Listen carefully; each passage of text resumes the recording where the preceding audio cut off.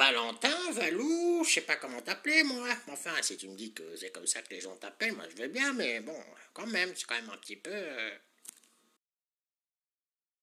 Mais enfin, Hervé, sois un peu gentil avec Valentin. Il te demande quelque chose gentiment. Tu peux très bien lui rendre ce petit service. Je vois pas où est le problème.